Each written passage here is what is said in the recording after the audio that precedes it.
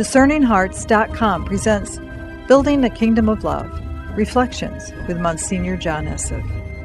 Monsignor Esseff is a priest of the Diocese of Scranton, Pennsylvania. He has served as a retreat director and confessor to St. Mother Teresa of Calcutta. He continues to offer direction and retreats for the Sisters of the Missionaries of Charity. Monsignor Esseff encountered St. Padre Pio, who would become a spiritual father to him. He has lived in areas around the world, serving in the Pontifical Missions, a Catholic organization established by St. Pope John Paul II to bring the good news to the world, especially to the poor. He continues to serve as a retreat leader and director to bishops, priests, sisters, and seminarians and other religious leaders. Building a Kingdom of Love. Reflections with Monsignor John Esseff. I'm your host, Kris McGregor. We join Monsignor John Esseff discussing the fourth Sunday of Easter and the Gospel passage concerning the Good Shepherd. In these Sundays after Easter, which are so important, it's called Mystagogia, when we begin to experience that we are in union with Jesus Christ, both those who have been received into the church, where they begin to flex their spiritual muscles and begin to see with the eyes of Jesus and mm-hmm. hear mm-hmm. with the ears of Jesus and love with the heart of Jesus. And those who have been in the church are continuing to grow in their union with Christ and Trinitarian love, so that all of these readings are meant to teach us after the, the resurrection that the apostles in that first history of the church in the in the reading where they're going over in the Acts of the Apostles. So that the first reading in our uh, fourth Sunday of Easter, Peter, filled with the Holy Spirit, spoke, Leaders of the people, elders, if we must answer today for a good deed done to a cripple and explain how he was restored to health, that you and all the people of Israel must realize that it was done in the name of Jesus Christ, the Nazarene, whom you crucified and whom God raised from the dead. Now, Peter, now we're going to be yin yanging back to the Gospels, where post resurrection and whatever is happening in the in the period of the, the public life uh, of the gospels peter is in no way this kind of character that jesus is talking to these 12 men one of whom will betray him and the others will abandon him and peter will deny him that these weak men are now transformed into Jesus Christ. What these post Pentecostal people who have been baptized and received the baptism so that the church now is in operation, that the power that Jesus had in the gospel, this, the life that Jesus led in the gospel, suffering, death, and resurrection, are now being lived by the apostles. Peter is healing in the name of Jesus. I do this in the name of Jesus, whom you crucified and who rose from the dead. Now, this Jesus continues to operate through us and with us. And these readings are going to show in the post Pentecost period through the Acts of the Apostles. They're going to raise the dead. That's what Jesus, that's what Peter's going to do. That's what Jesus did. They're going to preach fearlessly. That's what Jesus did. And that's what the, the apostles are going to do. And they're going to be killed, just like Jesus. So the church is Christ in the world in the first century, which is the Acts of the Apostles. That's what the church is from the moment of baptism. Now, you, 2012, as you hear this, you take inspiration to preach, to heal, to drive out demons, to suffer and to continue preaching in the face of suffering. All of these readings are men. This Jesus is the stone rejected by the builders that has become the cornerstone. There is no salvation in anyone else, for there is no other means in the whole world given to men by which we are to be saved.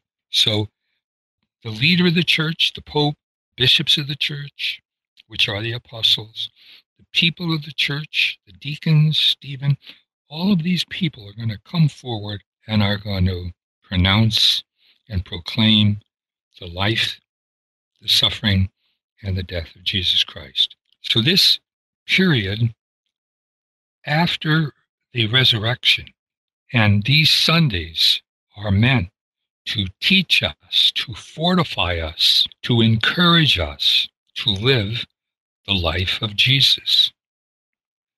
The responsorial, the stone rejected by the builder, has become the cornerstone. And Psalm 118 is, is prayed there. We go through that responsorial psalm, you know, thinking of how it was the stone rejected that now has now become the principal cornerstone. And that's the role if if we find ourselves rejected in our day. And uh, how powerful it is for all of us who apparently seem to be rejected as we live our lives for Christ in this day. But John again, and it, and how powerful it is in his in his letter, that whole first letter of of Saint John is what is the witness that the apostles gave, and what is the witness that Jesus gives in the face of rejection? Love. Love those who reject you. Pray for those who persecute you. The measure with which you love will be the sign that you are the son of God. See what love the Father has bestowed on us in letting us be called children of God. Yet that is what we are. The reason the world does not recognize us is that it never recognized the Son. Dearly beloved, we are God's children now. What we shall become later, He has not yet come to light. We know that when it comes to light, we shall be like Him, for we shall see Him as He is. What is the state of life in this post resurrection Pentecost period for us? 2012. We have not yet died and gone to heaven. We have been baptized, confirmed, ordained. I am Christ in the world. I see. I am a son of God. I see with eyes of Jesus. I hear. I have not yet seen him face to face, but that is what we are. We are God's children. We are Jesus in the world today suffering, dying, and rising, just as he was, and that will come to light. This particular fourth Sunday is Good Shepherd Sunday. I think uh, just to read a few phrases that is so important, which is such good news. This is the Gospel of John, the 10th chapter, and it's Jesus who is the Good Shepherd. I am the Good Shepherd. The good shepherd lays down his life for the sheep. The hireling, who is no shepherd, nor owner of the sheep, catches sight of the wolf coming and runs away, leaving the sheep to be snatched and scattered by the wolf. That is because he works for pay. He has no concern for the sheep. I am the good shepherd. I know my sheep, and my sheep know me. What is the relationship of the true disciple? It's love and it's relationship. It isn't a role the shepherd plays. If you are a priest, if you are a father of a family, a mother, a guardian, of God's children, a teacher. You are a shepherd. Every person listening, no matter what your age is, has little lambs and sheep to care for. And the relationship that you have with them is His. I am willing to lay down my life for my sheep. And in these times of darkness, in these times of great confusion in the world, how do you tell a shepherd from a hireling? A hireling will leave the flock unattended. And so, haven't you found those who, and Jesus has it very clearly here, work for pay? It's the politician who works for pay. The teacher who simply is drawn by the salary. The nurse who is simply drawn by the money and has no concern for her patients. The doctor, the priest. What is the relationship between Jesus and the sheep? Great thing about sheep, it's the one animal that has so little defense and really has nothing more than can be gathered into a flock. It, they herd. Sheep come together. And when I see young people who are being herded into these horrible dance halls and these horrible movies and pornography, these little lambs who are being so surrounded with the wickedness of what's around them, how they need teachers, guardians, protectors. The kind of lambs who are now being slaughtered, the unborn, the kind of little lambs who are the elderly, who are now being euthanized. This is really a dark, dark time. The doctors who call themselves mercy killers, to kill in the name of mercy, who have no understanding at all of the suffering of their patients and people. I am the good shepherd. I know my sheep, and my sheep know me. When you know it's it's difficult for a society that is so industrialized and and urban to know what the rural life of, of a shepherd and his sheep are like. But every true shepherd, no matter how many sheep get intermingled with the other of a different flock and another shepherd, the voice of the shepherd, it was it's amazing. Even though they kind of all get together and they are taken to places where there's green pasture, the shepherd calls his sheep by name, and they actually come out of the flock, each one of them. I know my sheep, and my sheep know me. The voice of the Good Shepherd is always calling his sheep.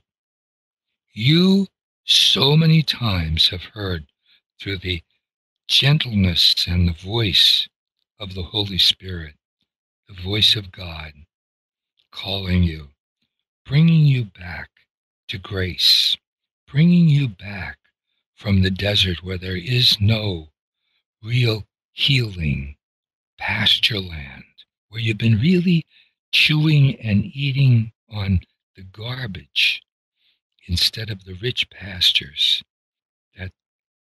Jesus wants to bring you to.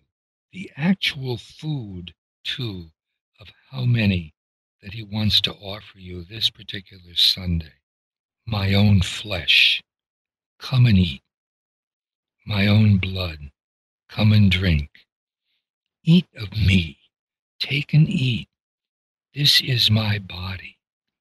This is my blood so close do I want to be in intimacy to my sheep that I want to give them myself.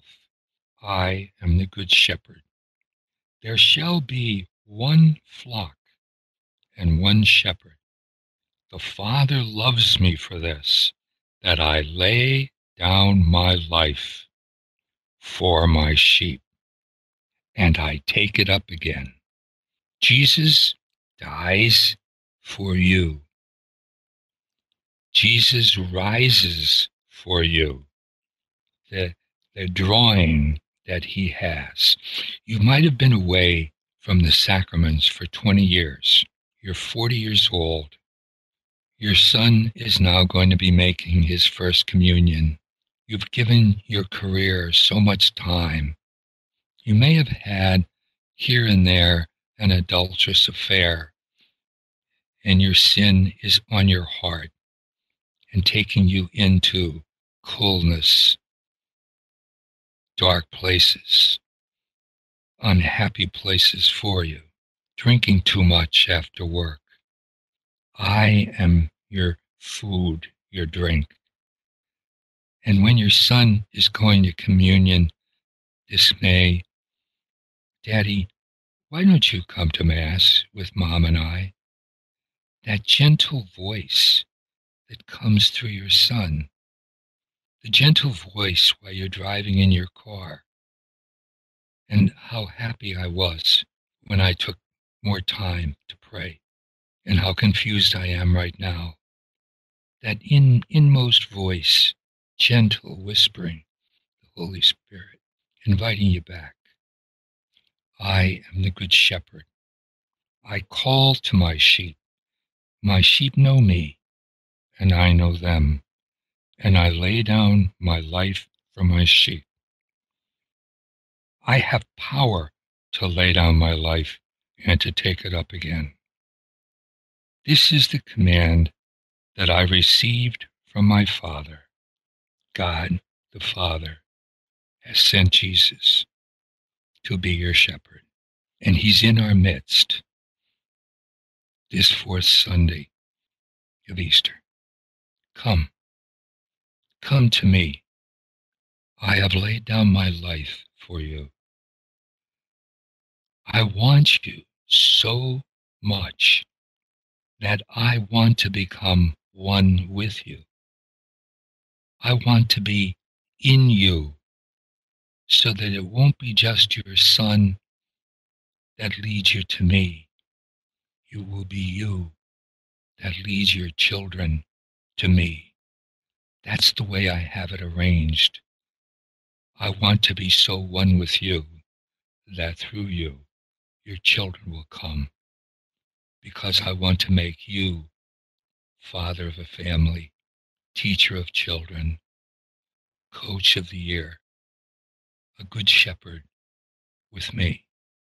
I want you, priest of God, to be one with me. You are my shepherd. I want to be one with you, so deeply in you that they won't know the difference between me and you this Sunday. Greater love than this no one has than to lay down his life for a sheep. When Jesus revealed the Sacred Heart on the cross when it was pierced with a lance, when he revealed it to Margaret Mary, there above his burning, flaming heart was the crucifix, the sign of that infinite love of the Good Shepherd. And so as I make this sign over you in this Sunday preparation, I ask you to make it over yourself with reverence, the cross, that I, like you, Jesus, and in your name, will lay down my life for my sheep. Take a moment and think of those members of your flock that you love so much. And then in his name, that you want to be that good shepherd that reaches out to them priest, parent, teacher, physician, nurse, auto mechanic. All of us were called to be shepherds to our flock. May Almighty God bless you. In the name of the Father, and of the Son, and of the Holy Spirit. Amen. Amen. We now join Monsignor John Esseff offering with St. Padre Pio a prayer for healing. Come into the presence of God, the Father, the Son, and the Holy Spirit. Come into the presence of God's Son, only begotten Son, who became flesh like ours. Close your eyes. Open your heart with all the wounds and needs in your heart as you come for healing. But especially see Jesus. Jesus has sent his image in our time, the crucified body and person of Padre Pio. Jesus so went into this man in our time. He wanted to give us an image of his crucified body. And so when you come to St. Pio with your needs, your cares, your wounds, your own sufferings, your own desire for healing, see yourself standing before Padre Pio. Beloved Padre Pio, today I come to add my prayers to the thousands of prayers that are being offered to you every day by people who love you and venerate you throughout the whole world. They ask for cures. They ask for healing. They ask for earthly and spiritual blessings. They ask for peace. They ask for needs of body and mind. And because of your friendship with the Lord, because of your unity with the crucified Jesus, He heals us through you. And so we ask today for healing and forgiveness. Padre Pio, through the visible wounds of the cross, which you did bear for fifty years, you were chosen in our time to glorify the crucified Jesus. Because the cross has been replaced by so many other symbols Please help us to bring it back in our midst, in our time, for we acknowledge it as the only true sign of salvation, Jesus crucified.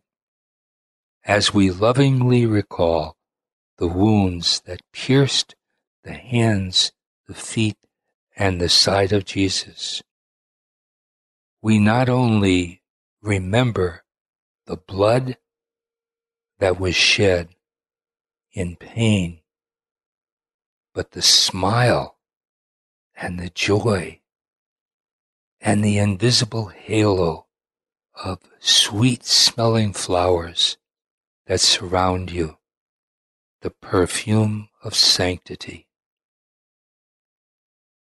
In your kindness, please help me with my own special requests. Pause now, each one. Have time to make your requests. And as you make them to St. Pio, make the sign of the cross. Bless me and my loved ones in the name of the Father and of the Son and of the Holy Spirit. Amen. Prayer to Saint Pio. O God, you did give Saint Pio of Pietrelcina Capuchin priest, the great privilege of participating in a unique way in the passion of your Son Jesus. Grant me, through his intercession, the grace which I ardently desire, and above all, grant me the grace of living in conformity with the death of Jesus Christ and his resurrection to arrive in the glory of the resurrection. Glory to the Father, and to the Son, and to the Holy Spirit, as it was in the beginning, is now, and ever shall be, world without end. Amen.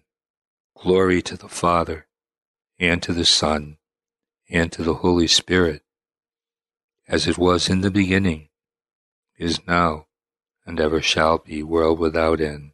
Amen.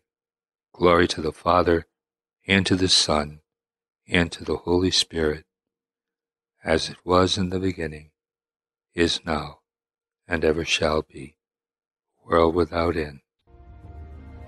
You've been listening to Building a Kingdom of Love with Monsignor John Esseff. To hear and or to download this episode, along with hundreds of other spiritual formation programs, visit discerninghearts.com or you can find it within the free Discerning Hearts app. This has been a production of Discerning Hearts. I'm your host, Kris McGregor. We hope that if this has been helpful for you, that you will first pray for our mission, which is to offer authentic and rock solid spiritual formation freely to souls around the world. And if you feel us worthy, please consider a charitable donation, which is fully tax deductible to help support our efforts. But most of all, we hope that you will tell a friend about discerninghearts.com and join us next time for Building the Kingdom of Love with Monsignor John Esseff.